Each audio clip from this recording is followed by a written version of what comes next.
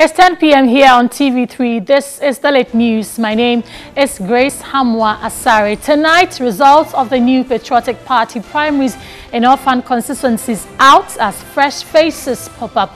We ask whether the candidates can wrestle seats for the party come 2020.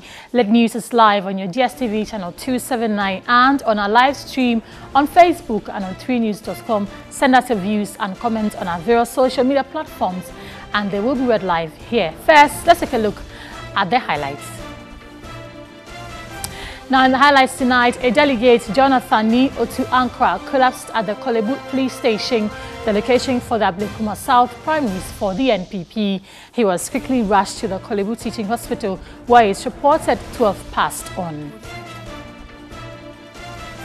Also, former President Jerry John Rawlings has joined the leadership of the National Democratic Congress NDC to focus its attention on winning the 2024 general elections. He says, though the main opposition party is vigorously campaigning towards the 2020 elections, winning the polls will only be possible in 2024. On international front, people have voted in Afghanistan's presidential poll amid heavy security and bomb attacks from insurgents. More than 70,000 security forces were deployed across the country to counter Taliban militants who have vowed to target polling stations. The twice delayed vote is taking place after Taliban USP stores collapsed earlier this month.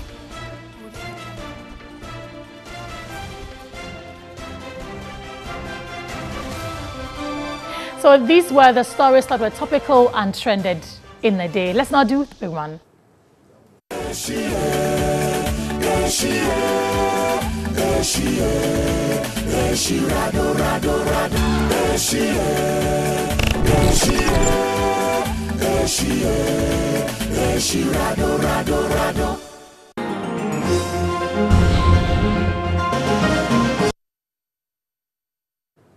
This is your election command center and tonight the new Patriotic Party's parliamentary candidate for the Ododo constituency, Ni Lante Bannerman, says he is confident of winning the 2020 general elections. He said this after being declared winner of the NPP primaries in the constituency. Neil Antebanaman won the NPP primaries in the Ododo constituency with 543 votes, beating three other contenders. Ni Yaboy Anan pulled 220 votes, Reginald Nibi Ayibonte pulled 70 votes, while Ni Achelenate had 11 votes. Before the declaration of results, some concerns were raised by the aspirants. Order was finally restored and proceedings continued. The winner, Ni Lante Bannerman, said the party is poised for victory in the 2020 elections. I have proven that I am a spectacular unifier and I work with each one of them so that we can attain 2020. 2020, I know we are winning and the delegates have spoken. We have decided to take it and we are winning 2020 with Ni Lante Bannerman. The other candidates pledged their support for the winner. For my wealth, my intellectual muscle, and my advocacy and oral ability, I will support him to, to win the seat for MPP. Nile, kẹgbẹmu, ni yẹ wa kẹkẹ mi yẹ, nutumọ ni nkasẹ yẹ bansẹ fẹ, nkẹba fita yẹmi nu ẹ nọ. I am a true son of this soil. I am a Shiche. I am an MPP, patriot. And I would forever support my party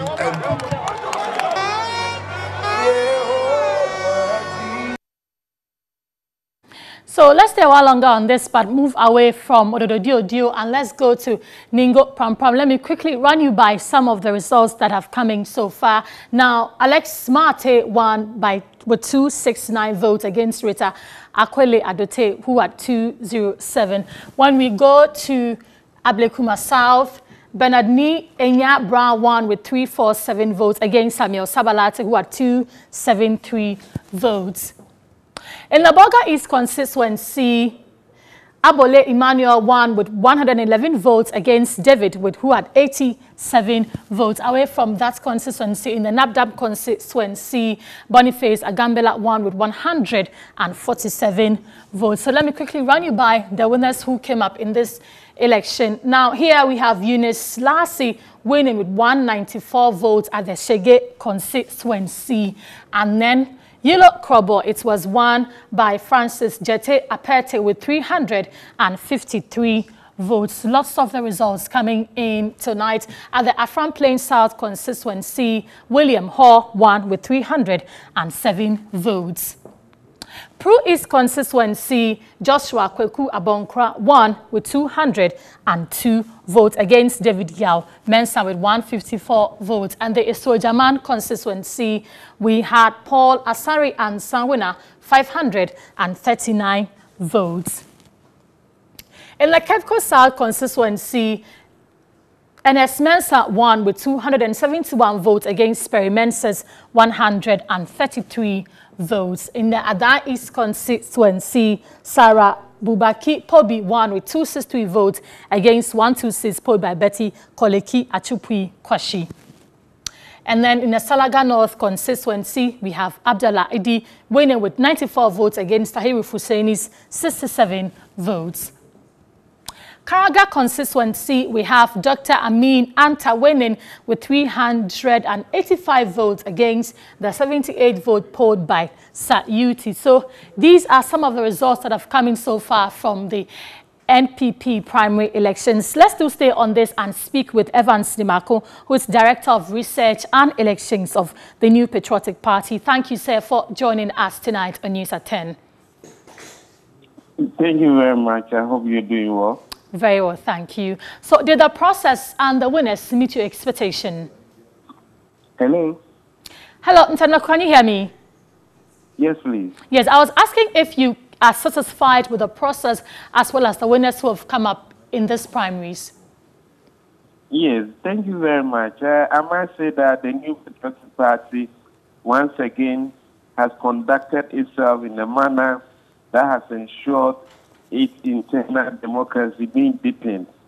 Across the country, across the 98 constituencies, that conferences were organized. I must say that the party as of now is very satisfied with what has happened. We're looking forward to have a very united party that is able to organize itself to support the Nana Dankwa Akufo-Addo's government going into the 2020 elections. Mm. So, we, we, we can't uh, let this pass without talking about the number of injunctions which came up in this primaries. We had the Amasaman election cancelled, and then there was an injunction for the one at Asawase, but the party went ahead to go on with the one at Asawase. Why would a party like the NPP that believes so much in the rule of law still go ahead to carry out that election in Asawase? Well, thank you very much. The, the, the leadership of the party, the party at the national level, uh, directed that even though we had not been served with the service of injunction on us, uh, the party advised that the constituency party should not proceed with the conduct of the constituency conference that would select the parliamentary candidates. So as you are aware, in the case of Amasaman, the constituency having incurred all that cost, the National Party having borne all the cost, decided to be law abiding and as you said, uh, did not go ahead mm. with the conduct of the conference. The case of uh, Asawase constituency, you are telling me, I just returned from Tamale uh, to supervise the conduct of the conference in the nine uh, constituencies. But I'm not aware something of that sort has happened. If the region, if the constituency has gone ahead to conduct uh, the acclamation, I must say that uh, the party do not support it. Leadership will in due course required of the regional party to submit report to that effect and, and will come out. At the moment, what I can say is that the National Party do not recognize anything like that. Mm. So the party doesn't recognize the candidate of Ali Dusseidu because he has been heavily endorsed Ali as, Dusseidu, Ali Biseidu is a sole candidate for Asawase constituency. We were not served with any court injunction. However, however, the party decided not to proceed. What I'm saying is that the party leadership is not aware and does not recognize anything like that. So if you are telling me that something has gone, what I'm saying is that the party leadership do not recognize anything like that. And leadership required of the national regional party to submit a report to that effect. But we, really, what, what is it with the Asawase constituency? Because we know the NDC also had its fair share of problems at their primaries, and now we, are conducting. We've conducted conferences across one the 98 constituencies, aside the the the ones that the party put on hold. What I'm saying is that we cannot belabor the point by going into it from one point to the other the national party do not recognize anything like that. And if you are telling me what leadership will require of the regional parties for them to submit reports to that effect, I think for now we can put that on hold and discuss other issues. As you are aware, aside this one, the party had a very successful conference across these 98 constituencies. Mm. And the, the, the, issue of votes buying has surfaced again at Ajumako Enyan Essiam, the provision of cars by an aspirant on the day of election. What is the party's position on this act, votes buying? Did, did that, did, did that aspirant win the elections? Come again, Hello? come again, Mr. Marco. He didn't. Yes. I'm, I'm saying that, I mean, uh, in elections, uh, contestation, people want to uh, address uh, some interests of some of the delegates. The party do not support, and uh, as a law-abiding party, uh, we appreciate that there are law uh, on, on electoral offences. Hmm. So the party advised that we conduct our campaign to conform with the laws of the country, and therefore it is coming to me as a surprise that uh, vote buying of that sort. For now, I've not received any petition from any of the aspirants uh, who contested in the Jumako Enye that anything of that sort happened. Mm. I'm here to receive the report from the national rep assigned to the region, Honorable Ufure Siama, on what was observed throughout the constituencies in central region. So what you're telling me is something that I'll find out if something of that sort happens. All right. Before I let you go, how confident is, is the NPP in the people you have elected come 2020?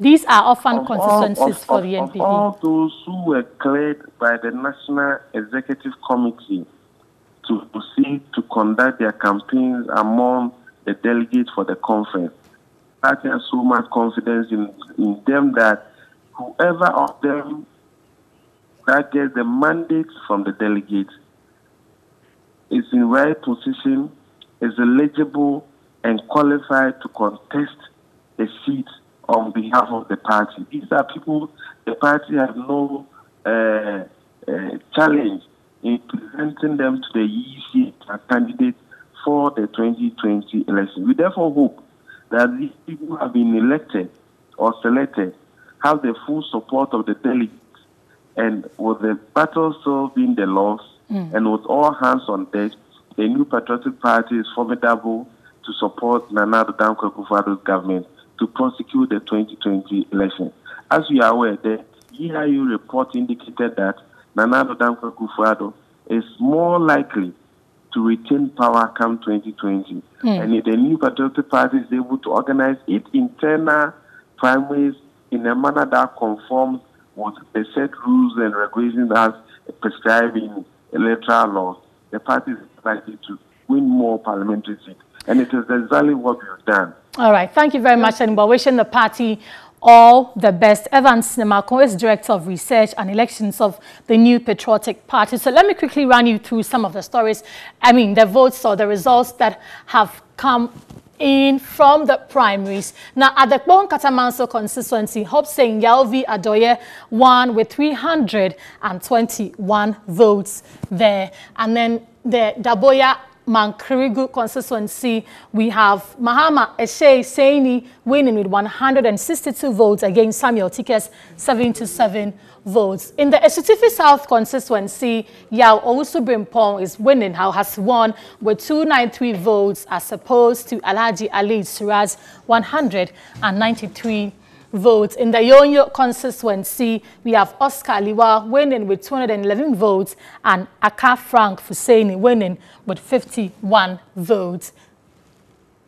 So here, um, we also have Professor Yanka in the Agona East constituency, as well as Dr. Amin Mohammed Antak winning Karaga. We've told you a lot all about these ones and so we'll still stay on this and do some other stories. Now, one of the females who contested the Shege constituency in the new Patriotic Party Ofan constituency elections emerged winner. Eunice Tassi polled 194 votes out of the 36 votes cast. Here's a report by Sarah Parku.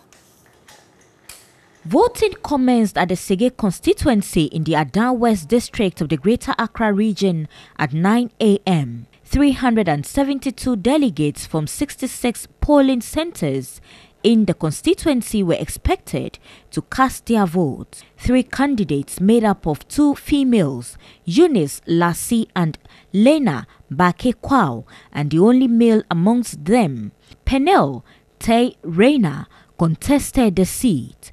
Eunice Lassie emerged the winner with 194 votes. Lena Bake Kwao came second with 143 votes and Penel Te Reina emerged third with 17 votes. Total ballot cast was 355 with one rejected vote. With the power invested in me, I declare Madam Yusi Lassie as the NPP parliamentary candidate for Adawe.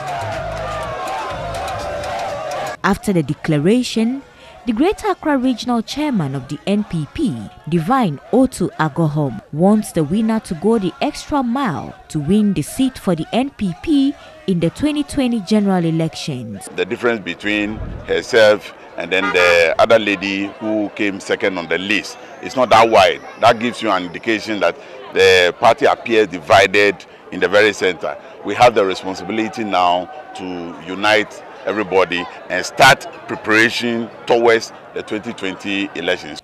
The winner, Eunice Lassie, is hopeful of unseating the NDC incumbent MP, Christian Corletey Otuteye. Second constituency will be laughing at 2020 after the election and I've been sworn in as the MP. I'm going to put a smile on their face because I know what my government is capable of doing. The contender Lena Bakekwa was out of the center before declarations were made.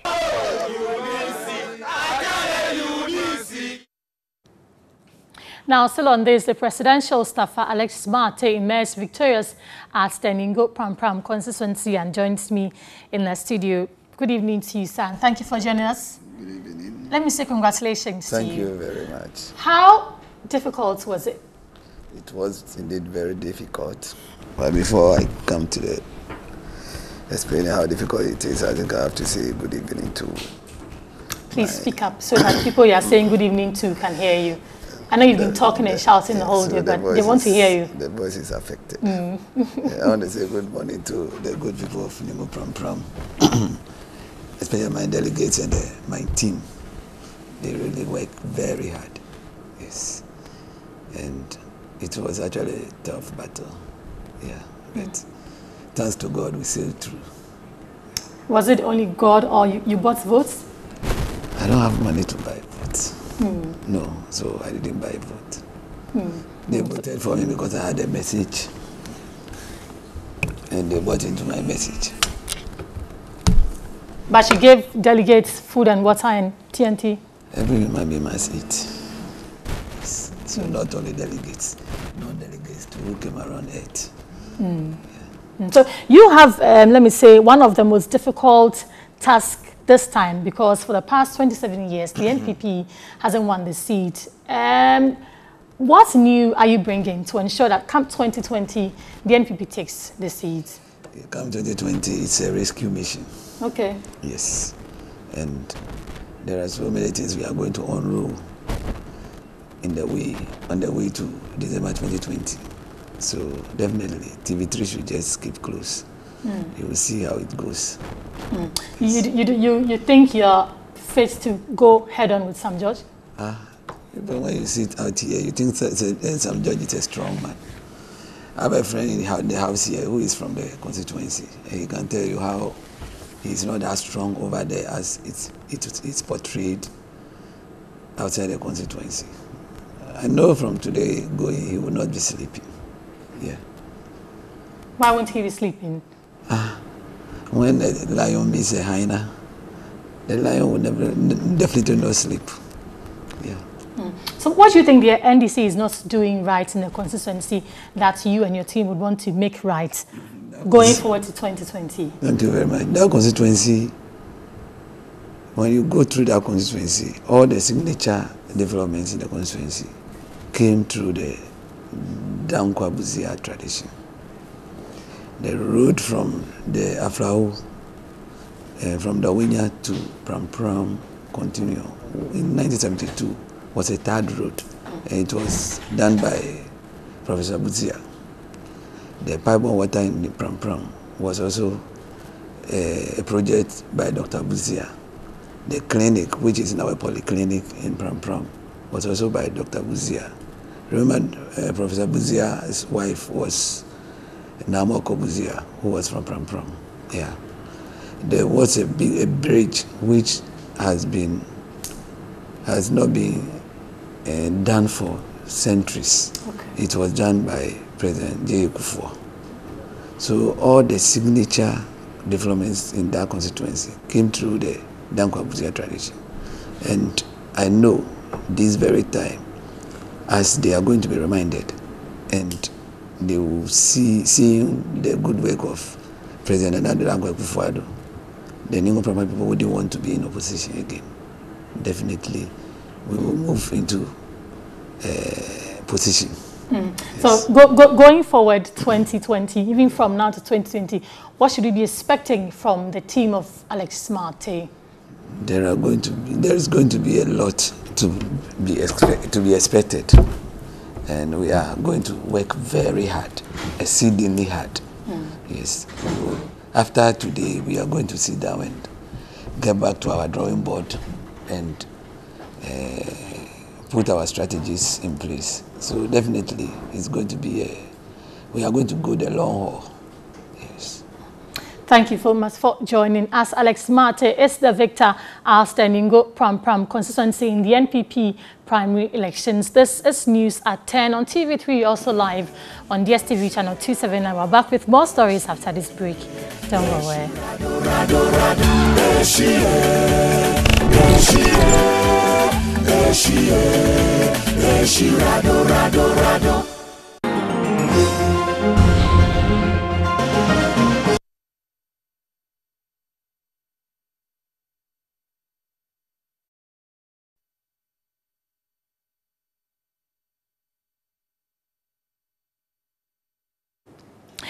You're still at the Election Command Center here and it's news at 10 on TV3. District Chief Executive of Ellembelle, Kwasi Bonzo, has won the NPP parliamentary primaries to represent the party for the third time. He polled 359 out of a total valid vote of 630 to beat his fierce contender, Western Regional Treasurer Homa Mensah, who had 262 of the votes. Addressing a charged delegates, Mr. Bonzo said his victory was obvious. Our Western region reporter Eric Yaweje spoke to him after he was declared winner.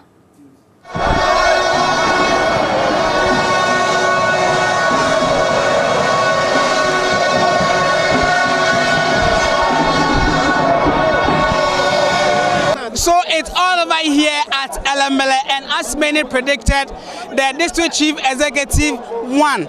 He had 359 votes as against his fierce rival Hannah Mensah who had 262 of the votes and the third aspirant also had nine. There were nine rejected ballots. So in all, 632 delegates participated in today's primaries. I have with me Bonzo K, popularly known as 34 Kewa. Um, this is definitely a sweet win for you. Uh, I thank God. I thank God for the victory. But most importantly, I want to thank my supporters, MPP delegates, who against all odds worked very hard to secure the victory. This victory belongs to the NPP of Ellembelle. That's all I will say. Uh, we work hard for it. We have been in the trenches, and I believe the delegates they have spoken and spoken loudly. The next thing is for us to march on against NDC and win this seat for the first time for the new patriotic party. Okay. Uh, before today's exercise, I had an interview with you about the popular saying that fear delegate, but yours was trash delegate. Is this a manifestation of what you've been thinking all along? Because I know the delegate, I know them. The reason I trust them is that I know them and I know they trust me. Uh, they, I've been with them for so long. I've been around for 23 years in this constituency and I trust them and they trust me. So, of course, uh, it's, it's democracy. Definitely, the opponent, they also work very hard. You expect them to get some votes. But eventually, the delegate has spoken. And we believe that the voice of the people is the voice of God. For you, what really worked for you? Uh, my relationship with the delegates. I have a very good relationship with them. As I speak here, I know each of the delegates by name, first and second names. And they know that I'm the person that can lead this party to victory in 2020.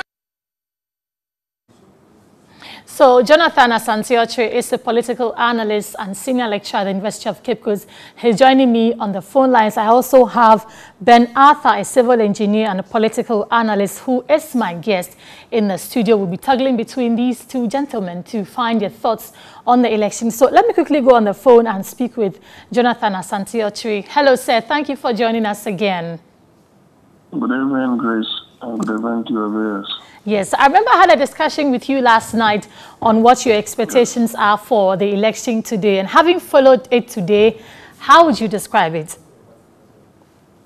Well, I think that uh, I was not far from wrong. Um, I think um, I said that they definitely there is a need for them to conduct themselves well. Um, it is a party in government, and uh, obviously you are going to have a lot more of candidates showing up for the orphan constituencies, especially in areas where it's, it's, it's virtually 50-50 more or less. You know, it's virtually 50-50. You will have quite a number of candidates showing up because currently it is the party in government. And so, um, as it stands now, the acrimony would, would, would be very much less when it comes to you know, the orphan constituencies. Does, does that make it right for us to say the election has been incident-free? Well, uh, yes, of course. It's, by and large, it has been an incident-free, but of course, you still have pockets of issues here and there, I'm told, you know, more or less trying to impress the delegates, as it were, mm. to motivate them. Today, the term is motivation motivation of the delegates and not a, a subtle way of buying the consciences of of the delegates. The, mm. the, the catchphrase is motivation. Mm. Mm. So still on this issue of buying consciences, we, we, we have reports that in the Ajumako Enyan Essiam constituency, cars were allegedly shared. Uh, looking at the, the gravity of this, can we ever find a way to do away with votes buying in our elections. Can we get there? Hmm.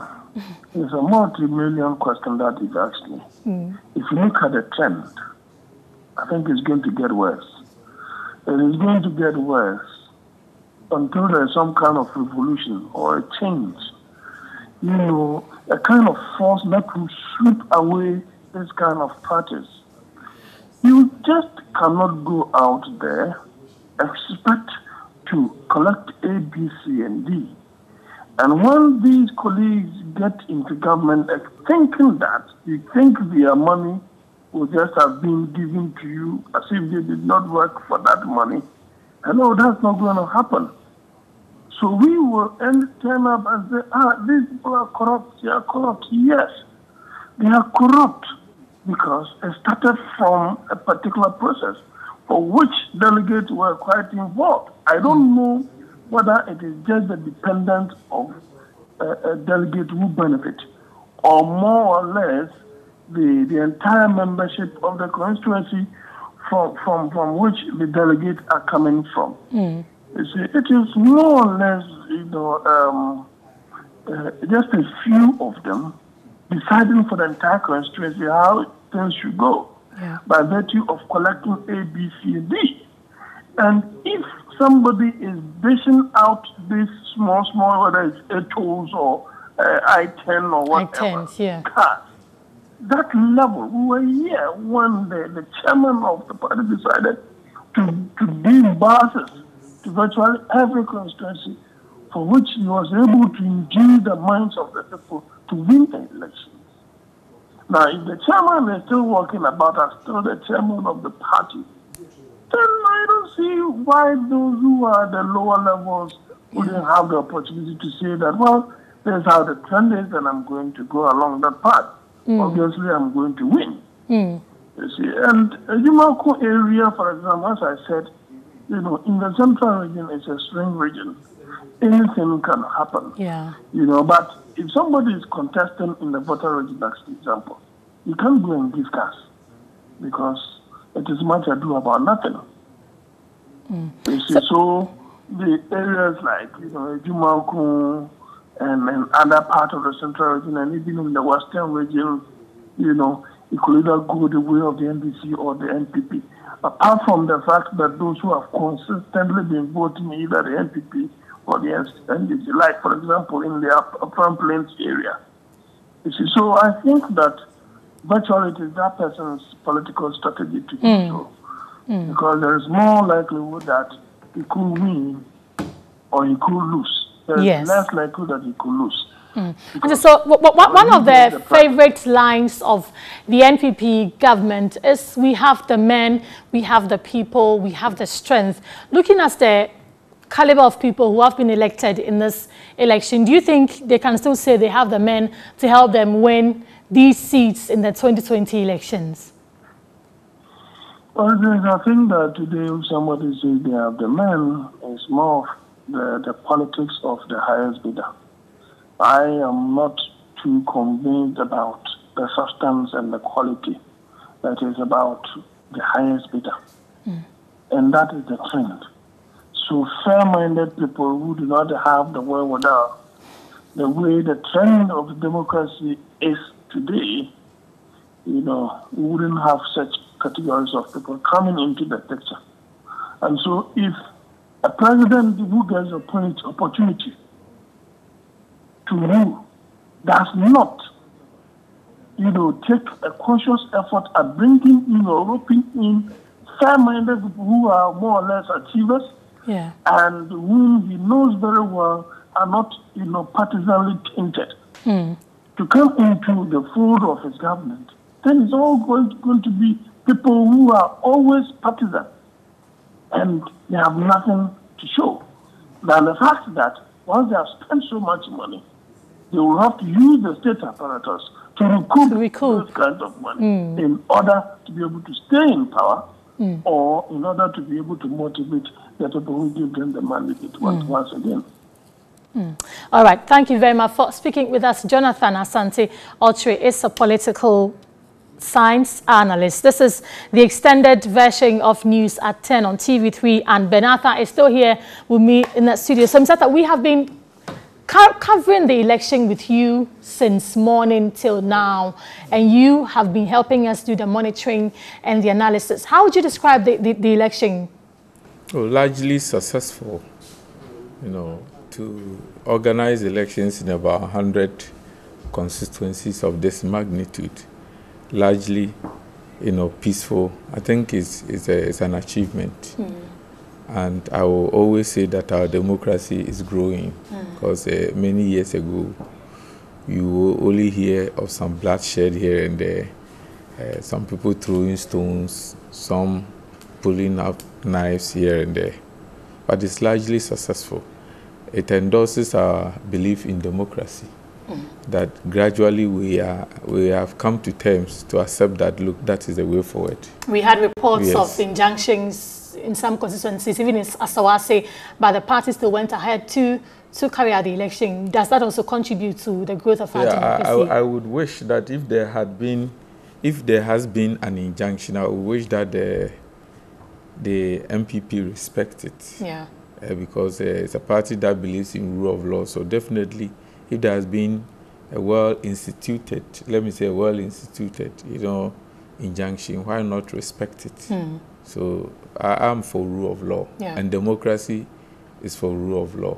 But mathematically speaking, if you take two out of hundred, it is not significant enough to say that the elections have been marred by injunction. So largely, 98%, that Hmm. is an excellent mark.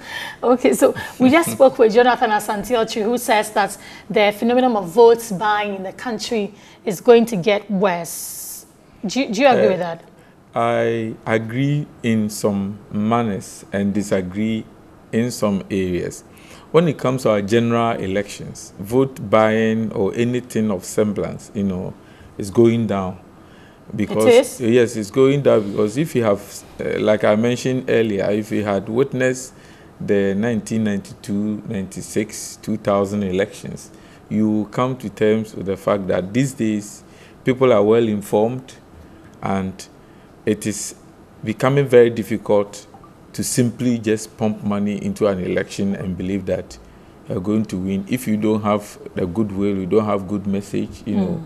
the people don't see you as a good material. Uh, I could also foresee party primaries uh, doing away with a kind of vote buying if only participation will be broadened. Okay. You know, I, I understand the two major parties have a fear for broadening the electoral college. But I know maybe in the next 10, 15 years, that will be the order of the day because other party members will want to assert you know, themselves as to their right to participate in activities. If you had in the whole constituency 2,000 delegates Mm. voting, it will be very difficult to find enough resources to influence them. Them, yeah. So as we get there, it becomes more difficult. Even if you think of vote buying, you will not be able to. Yes, you give your offer, but you won't purchase anybody on the electoral market. Mm. Vote buying exists, but I can tell you, if you don't have good message, if you are not a good material, it is not going to get you anywhere. Anywhere. Yes. Mm. So let's look at Asawase and Ningo Pram Pram. In as much as the election there were very peaceful or successful, we know over the years these two constituencies are more of flashy. How do you suggest we prepare ahead of security in terms of the 2020 election in these two elections as well as the other elections? For, for areas, if I may call, uh, hotspots, Mm, hotspots, yeah. Uh, there are certain areas that we used to call black spots.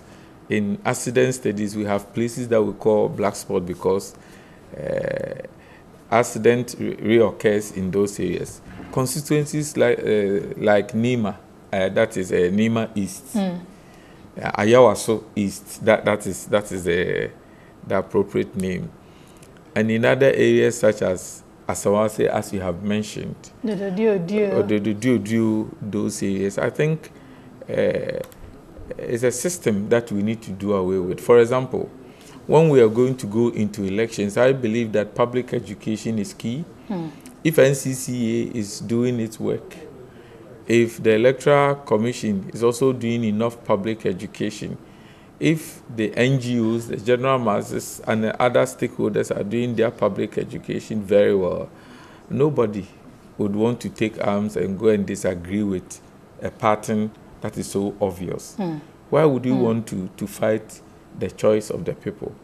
It is when electoral processes are not made transparent, when people don't have, uh, they don't identify with the set out grievance procedures Yeah. and they don't have belief in it when incumbency tends to be abused Mm. and people believe that they have no way out that is when violence becomes an option Alternative. but if it is free and fair you will feel ashamed to even protest when you have actually participated in the process right from registration of members, those who form the college or Yeah. those who are voters. You have been part. When there's nomination, there's free. I mean, it's free and fair. When there is vetting, it's free and fair. And the voting day processes, counting, sorting, whatever, has been free and fair. It becomes very difficult for even your supporters to go and fight for you. Mm. You know, they become disabled if you lose because the, the processes have been free and fair. And it's clear. Mm. Everybody And it's has clear. seen but it. if it is not free and fair, Yeah. that is when people begin to, you know. Agitate But of course, when it comes to this is uh, party primaries, but in the general election, when it comes to by elections, by elections are seen as hotspots. Mm. Uh, that has been the trend in Ghana because when there's a, a government in power and there's one in opposition, especially if the the seat belongs to an opposition party, Party. and then the government of the day believes that look, we can annex it. Mm. Sometimes the forces that are sent there, uh, you, you you enjoy it. Yeah. So that's so I'll have you hold on. Let me go to the Pru East District where the DCE, the Joshua Kwaku Abonkra, has been elected the parliamentary candidate for NPP in the constituency in the Bono East region. The election, which was held in Yeji, the district capital of Pru East, was contested by three candidates. Joshua Kwaku Abonkra, who was declared winner, polled 202 votes of the total votes cast of 416, while David Yalmensa polled 154 and Dr. King David Amwa also polling 57 votes. Joshua Kwaku Abonkra called on his contenders to come together and work as a united force to unseat the NDC Member of Parliament, Dr. Kwabena Donkor, in the 2020 general elections.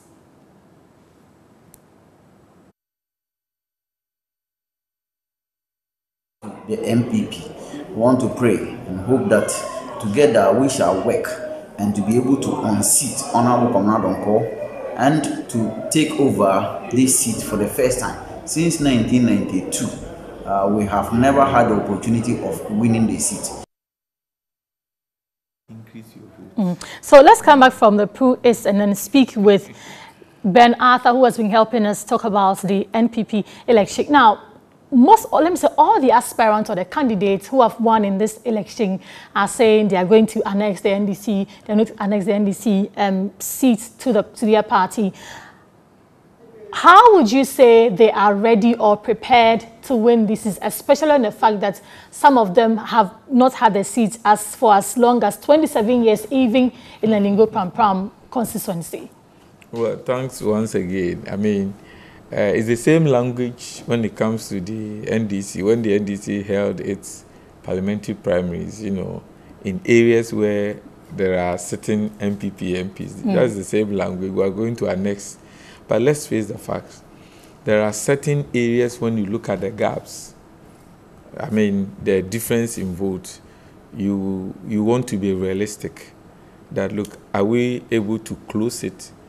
There are certain areas, the, the answer is yes, you can close the gap. There are certain areas you can actually, you know, take over. Mm.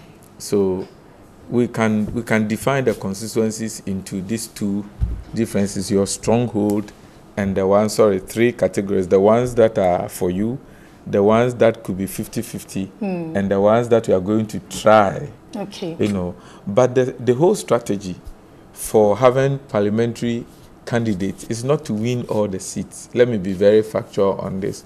Sometimes you put up the best of candidates to also maximize the votes in particular areas so that when it comes to the presidential, which is seen, the whole Ghana is seen as one constituency. So, So it's, If- it's if- more if- like if- uh, if your a- candidate- a means to an end. it's not a means to an end. That is part of the electoral process Mm. that you put up a candidate everywhere. But the truth of the matter is that you will, be, you will just be unrealistic to assume that you are going to win all the 275 Seats or you know. But you know yeah. there are certain areas you will not win, and yet you put candidates there. There. The meaning is that it is competition. Mm. So you put the best, I mean, Foot foot, there forward. to make sure that you will be able to get a lot of votes to come and add to the presidential. So it is two things done at the same time. The same Both time. the parliamentary and the, The presidential. presidential. So this suggests that in every parliamentary elections, the presidential people are interested. Okay, that's a very interesting revelation there by Mr. and, Ben and Arthur. They, they may be shadow actors. Shadow actors. Thank you very much for speaking with us. Ben Arthur is a civil engineer and political analyst. This is News at 10 on TV3.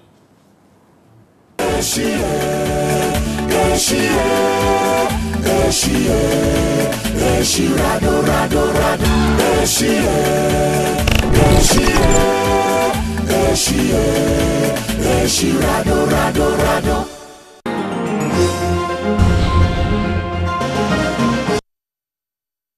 Eshi eh, eshi eh, eshi eh, eshi rado rado rado. Eshi eh, eshi eh.